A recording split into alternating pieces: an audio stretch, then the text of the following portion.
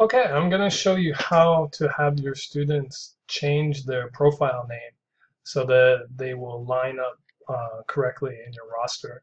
So this this is important if they've registered the wrong way or if somehow they registered in the past and used their uh, username where they should have used or their ID number where they should have put their their first name or their last name. So once they log in to PE Online, you can see I'm enrolled as a student right now. They should be able to uh, click up on their name. That'll open a drop-down menu. Have them go to their profile. And when they're in profile, the top box will be user details. You can have them select edit profile.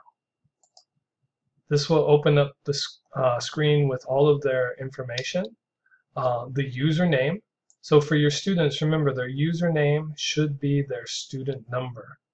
Okay, if they used something other than their student number, you can have them open this in class and uh, have them change this to their student number. Their surname, of course, should be their last name and their first name should be their first name. Once they've made the changes they want, they can scroll down and click Update Profile.